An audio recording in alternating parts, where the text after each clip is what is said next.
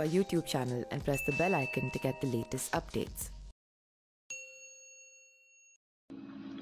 नमस्कार, मैं पिंटू सिंह यादव, आप सभी का स्वागत करते हैं न्यूज़ लाइव में। दोस्तों, भारतीय कुश्ती संघ, यानी कि डब्ल्यूएफआई के अध्यक्ष ब्रिजभूषण शरण सिंह के खिलाफ कार्रवाई की मांग को लेकर पिछले एक हफ़्ते से दिल्ली के जंतर मंतर पर धरने पर बैठे पहलवानों को समर्थन भी मिल रहा है।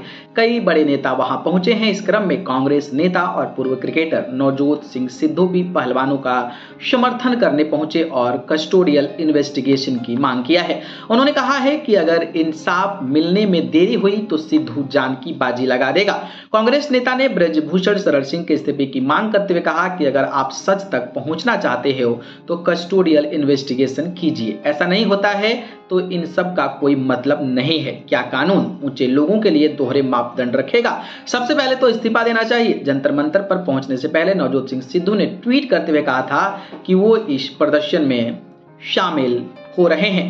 ट्वीट में सिद्धू ने लिखा कि यह जानना कि क्या सही और ऐसा न करना सबसे बड़ी कायरता है। एफआईआर में देरी क्यों हुई? एफआईआर को सार्वजनिक करना ये दर्शाता है कि वो हल्की है और शिकायतकर्ता की, शिकायत की पुष्टि नहीं करती है। इसके अलावा उन्होंने ब्रजभूषण सिंह को बचाने के लिए पीछे की मंशा पर भी सवाल उठाया। इसको लेकर उन्होंने कहा कि इरादा संदिग्ध है और मकसद अभियुक्त की रक्षा करना है।